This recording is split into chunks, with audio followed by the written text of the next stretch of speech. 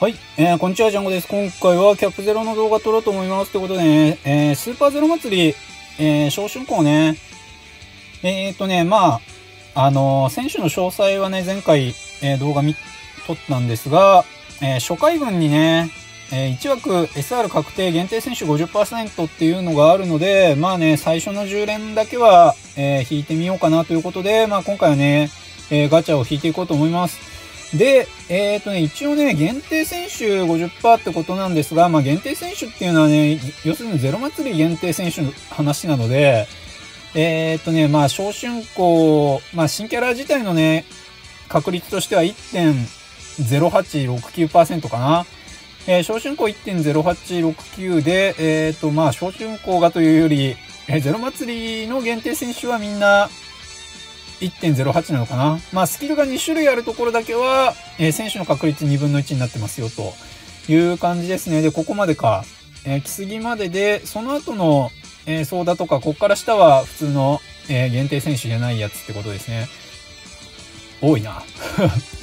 えっとね、まあそうなると狙いとしては、まあ新選手の小春校ユースのやつか、えー、もしくは、えー、オワイランですかね。えー、オワイランのユースのやつ、もしくは何が欲しいかっていうと、そうだな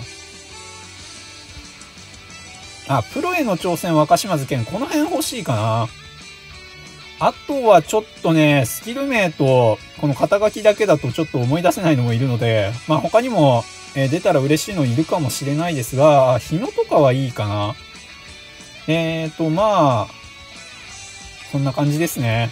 まあ1%とかなんでね、どの選手にしても、えー、狙っていけるようなもんじゃないと思うので、えー、まあ何か出て嬉しいのが来てくれたらいいかなということで、えー、初回分だけね、弾いてみようかなと思います。ってことで、えー、早速行きましょう。いけいけ さあ、どうだ?まあ、とりあえず確定枠はあるので、カットインなくても構わないんだけど、うーん、これはか、これは確定のみっぽいな。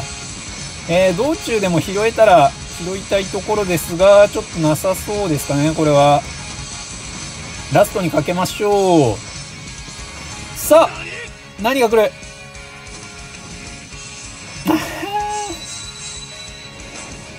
え、待って。これ、50%そのものを外してない？ゼロ祭りじゃないよね。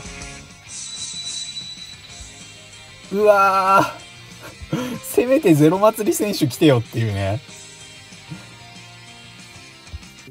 なるほどね。ちょっとやっちゃったな。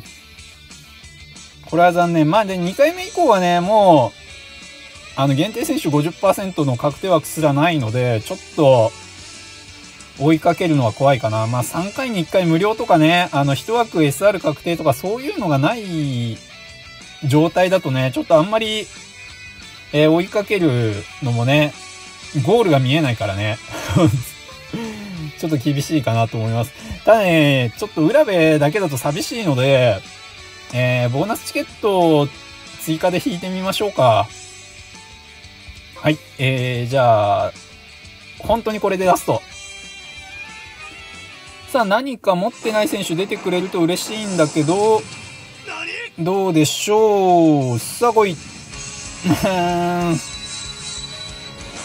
ェスターね。このシェスターは、あー、なんだっけこれ。カレツがタックルしてくるやつだ。シェスターのスキルなのに。えー、ゲルマン連携タックルでしたね。はい、えー、というわけで、まあ、今回はね、これで終わりにしようと思います。ありがとうございました。うーん。